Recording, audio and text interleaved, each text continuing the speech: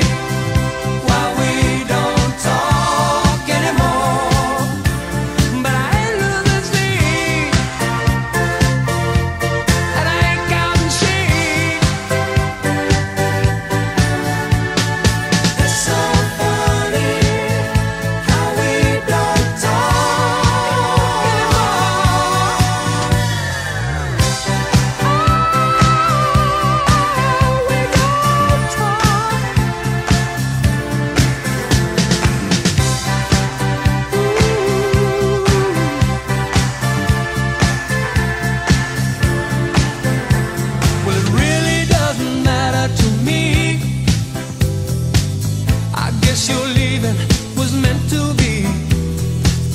It's down to you.